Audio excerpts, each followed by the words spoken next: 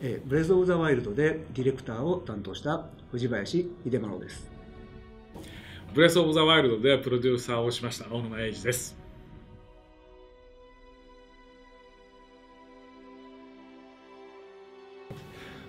まあ、見てご覧の通り馬ですね。うん、で、うん、馬がもし1万年前の技術でバイクになったらどうなるかっていうところでデザインされてますね。最初あのなんか狼のデザインみたいなものあったりしてね、ねうん、だからいろんなその動物をモチーフにしたような形でバイクデザインしたんだけどやっぱり馬がしっくりくる。リンクにはねっていうことで馬がモチーフになってますね。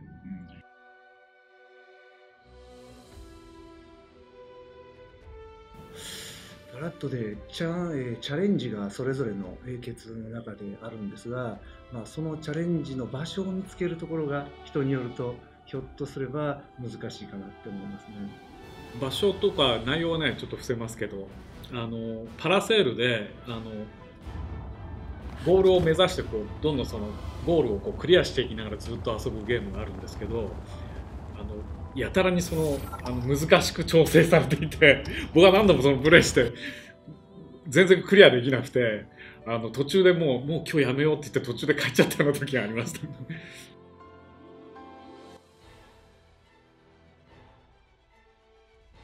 これはやっぱり、えっと、それを作ったディレクターたちがうちにはいますんでその人たちと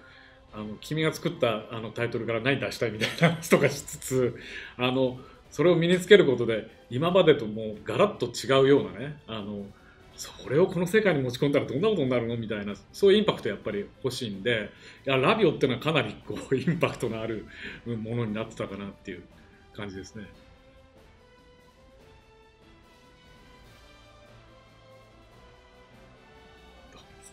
いや作ってる時は、えー、僕たちからするとちょっと、えー、暑苦しいキャラ キャラクターかなと思ってたんですけど、まあ、実際あのシナリオのメッセージというか、えー、指導のセリフを書いたりとかしてる時は最初はだんだん暑く暑苦しいなと思ったんですけど後半になってくると楽しく書いてたっていう印象がありますね。スタッフも、えー、徐々に気に入って最初よりも後になるほど指導はこうみんながスタッフが愛着を持ったキャラクターだったように思います。シドってねあの実は最初体の色ブルーだったんですね で僕はそれ見てこれミファーの兄弟には全然見えないから色変えてって言ってあの今のピンク色のあの、えっと、体になったんですねあのなんか途中あの指導やっぱり僕も気に入ってたんでこれをもっとミファーちゃんと兄弟らしく見せてよっていうようなことは結構あのリクエストしたりしてました。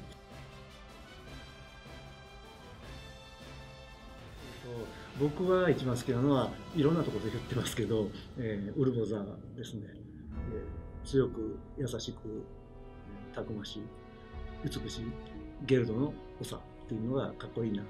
っています。あの追加コンテンツの、ね、第2弾で、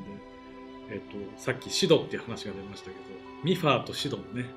えー、昔のその、えー、ある日の まあシドは今も生きてますけどあのえっと、まだシドが小さかった頃あのミファーとの交流のシーンが描かれてますけどそこで僕はあの非常にそのミファーの深い母性を感じたんですね。なんで今は彼女が一番気になる存在です。え俺が言うの？そ うですよね。もうあのゼルダの当たり前を見直すって言って作ったこのブレス・オブ・ワイルドなんでまあでもこれが、まあ、皆さんがこう遊んでくれてこれが新しいゼルダだってなってでもその次からもうこれがまた当たり前になっちゃうんですよねだからやっぱりまたあのここからねあのユニークなものを入れていってまたどんどん変えていくってことをしていかなきゃいけないのでただやっぱりこの「ブレス・オブ・ザ・ワイルド」で面白かったって思えるとこはね、あの消さないようにしてさらにまたユニークなものにしていくってことをこれから2人で 頑張って考えていこうと思ってます。ゼルダの伝説ブレス・オブ・ザ・ワイルドの DLC 第1弾は特にコアなゲームのファンたちに遊んでもらいたいなと思って作りましたが第2弾では、より英傑たちの、シナリオ物語を楽しんでもらえるように作ってありますのでぜひ英傑たちのバラッド楽しんでいただきたいです。全部の試練をあのクリアしないとあのバイクは手に入らないんですけどあの頑張って手に入れた時には本当にあのやったって思えるあのそのバイクの、ね、性能に驚かれると思うのでぜひあのこれを体験してみてください。